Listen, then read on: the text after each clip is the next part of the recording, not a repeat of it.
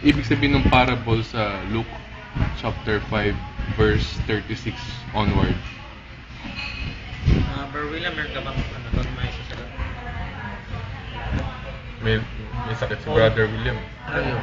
O yung old wine, eh yung new wine, hindi dapat lagay sa old wine skin. Ah, anong ibig sabihin niya?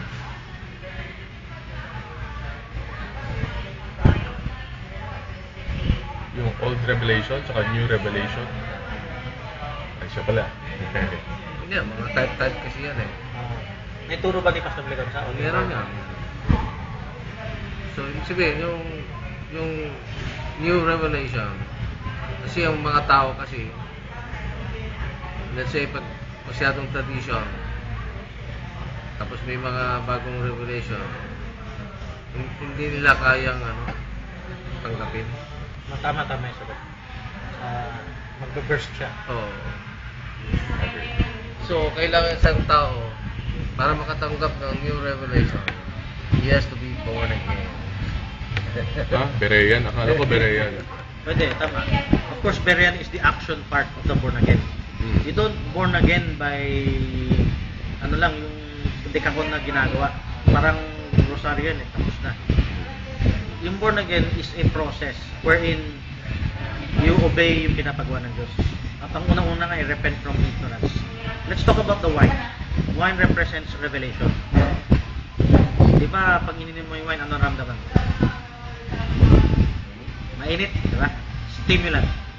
It stimulates. So, the revelation of the Holy Spirit represents the wine. The wine has old wine and new wine. Ang old wine represents old revelation. New wine represents new revelation. Let's talk about the wine skin. Wine skin yung lalagyan ng wine. Ito sa real life, pag ang wine skin ay luma, tapos nilagyan mo ng new, new sasabog siya. Hindi niya kaya i-contain. So let's talk about the wine skin. Yan yung sisidlan natin. Before you can receive the progressive revelation, the message of the hour, the new fresh manna, before you can receive the Holy Spirit indwelling, gives you progressive revelation. Before makatanggap. Dapat ka ako may record din ah. Um, Before makatanggap ng new revelation. bago ka makatanggap ng new revelation, kailangan magkaroon ka ng new attitude. Yung new attitude mo, yung pagkaberehan, yung priorities mo magbabago. Pag-iisip mo magbabago. Pag hindi mo gagawin yun, hindi mo matatanggap yun.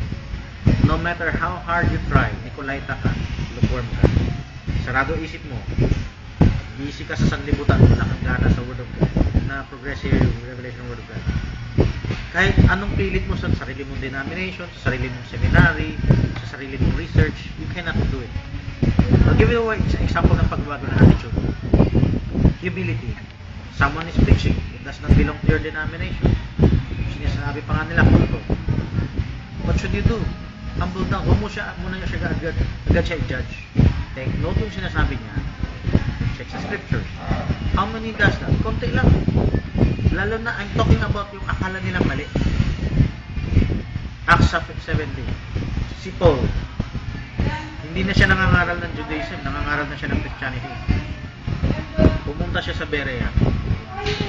The people should be afraid dahil may warning na sa mga churches ah, si Pablo nagdadala ng ano, sinisira na niya yung kautusan. So, anong ginawa nila? Sabi sa Bible, these were more noble than those in Thessalonica. They received the word with a ready mind, open mind. Pag sa'yo ready, handa sila mag take note. Then they searched the scriptures daily, whether those things were so. That's humility. Before you can do that, a stranger comes along and tells you may kailangan kang malaman. Hindi pa kumpleto ang ha- ikaw sa harapan ng Diyos. May pride normal yung tao eh. Ba, sino ka magsasabing ano, ah, kulang ako sa Diyos? May pagkukulang ako. Humility.